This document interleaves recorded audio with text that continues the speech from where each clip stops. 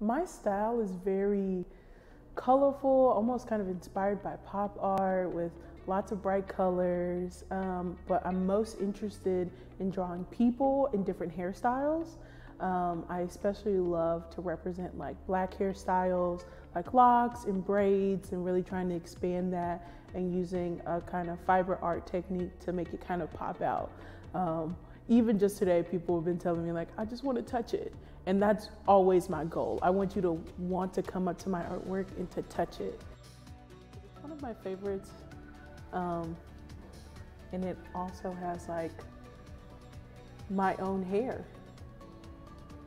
This was on my head.